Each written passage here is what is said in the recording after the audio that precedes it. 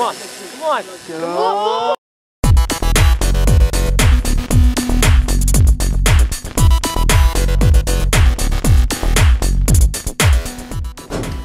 Hey, it's Mr. Moss from Mesa RC Foam Fighters. Um, we got some snow this week, and so this this episode we want to feature um, some work that we're doing with the apprentice. Um, this right here, don't don't mind this. We actually did some work for. Uh, actually got contracted out to do some work for a company um, for a GoPro. But uh, anyways, what we want to do is we want to make some skis for the apprentice, and uh, we got some seventh graders over here actually coming in and working during some lunch time to design some skis that will eventually be printed out on the uh, the 3D printers. Um, we're hoping that we can get those printed out, out today, actually. So it looks like you guys are referencing to the actual skis. Yep. And then you're actually starting to get it printed out program. So what program are you guys using? We are using 123D Design by Autodesk. And it seems to be pretty easy to work with. Uh, yeah, it's just a bunch of buttons. I can do pretty much whatever I want to go send it to the 3D printers and print it out. Cool. So go to home view so we can kind of let the viewer see.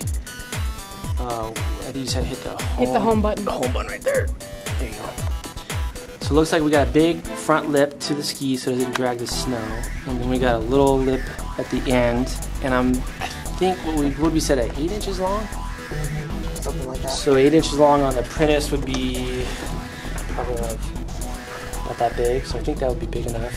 And then what what are you doing right now?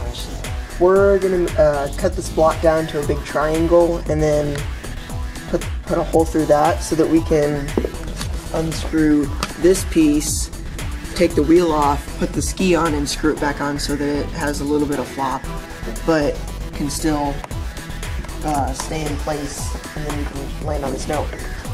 Cool.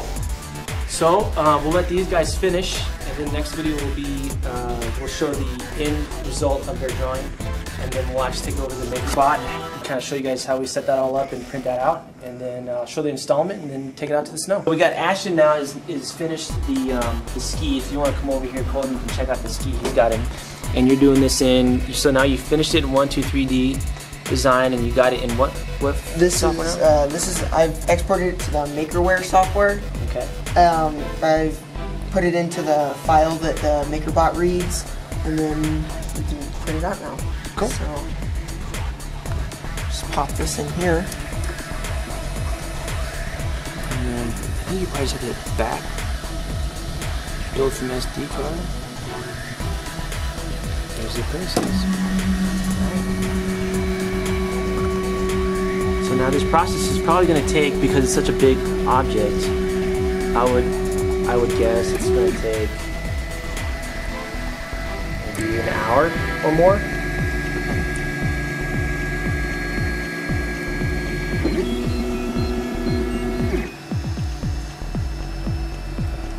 And we're just doing it uh, standard. We're not doing it a high resolution print, so it's just gonna go. It's gonna go fairly fast because it's a prototype. And um, Ashton, looks like you're doing supports for it, which is good because we do have. So if you want to go over here, Colton, see how we have these like these little um, inlets or whatever you want to call them, where the skis is kind of going up. If we just printed them off that way, this thing would just kind of fall over.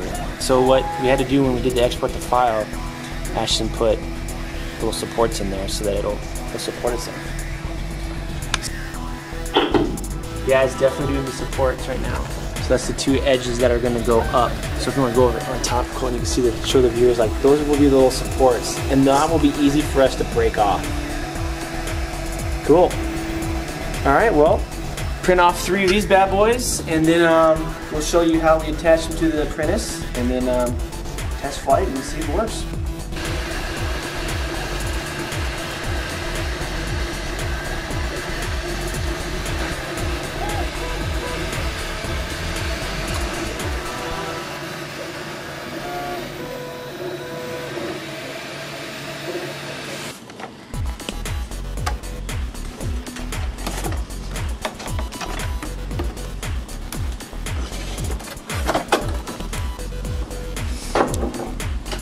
have an outlet, Zach? Nope. Find one.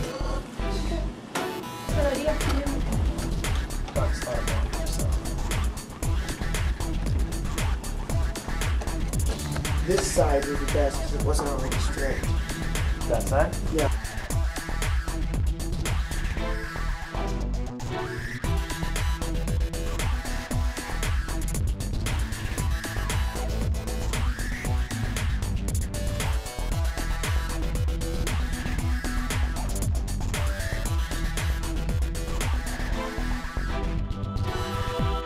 Um, we finally got some snow, and uh, we want to test out the, the skis that some of our kids made. So we're just gonna do some landings. Hopefully, we'll be able to take off land, take off land, um, to demonstrate and see whether or not these 3D printed skis actually work. So now, if they do work, then we'll be able to apply this same technology to some of our other planes, so we don't have to be limited on stuff.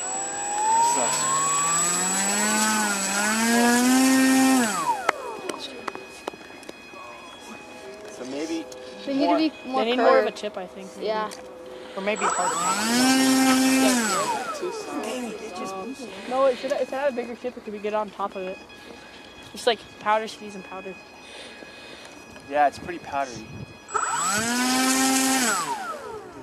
Well, That sucks. Marshall, what they do for like real skis, they just put a they're fatter and they just have a lot of movement. so what you do is they get up on top of the snow literally with the fat. We could go like where kids have been walking or something and try throw that. it Or yeah. Yeah. back down. Yeah, we could try to pack it down. Let's try to pack it down like a Yeah, runway. pack it. Woo! It's a start. Yeah, keep packing. Oh, Come on, Lord!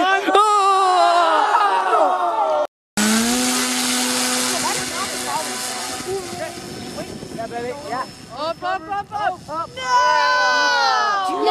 I Sucks, we're running out of snow. Let's see if it works on the.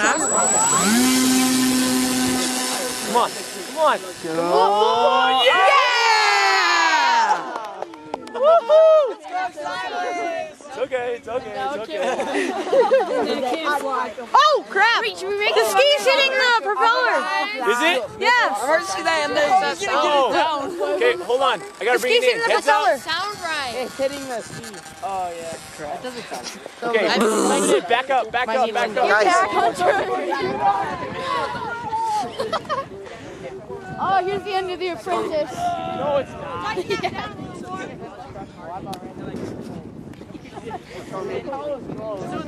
Better come down. Oh crap. He's crabbing. Heads up, guys! It's coming in hot. I stand my ground!